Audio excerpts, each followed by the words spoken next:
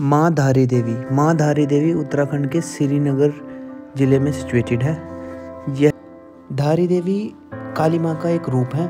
ऐसा माना जाता है कि जो माँ धारी देवी टेंपल है, वो काली माता का नाभि से ऊपर वाला एरिया है।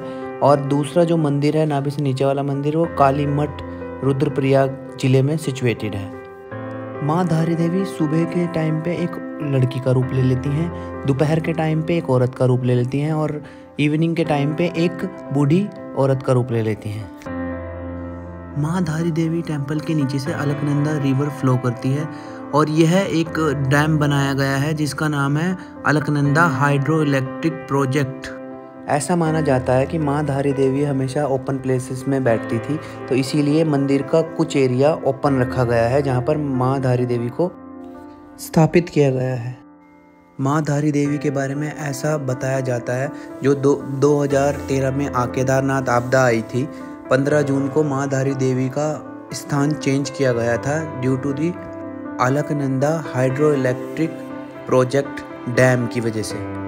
और 16 जून को केदारनाथ आपदा आई थी, जिसमें लाखों लोग मर गए थे। माँ धारी देवी का टेंपल फ्लावर और लाइटों से सजाया जाता है ड्यूरिंग नवरात्रों पे और दुर्गा पूजा पे।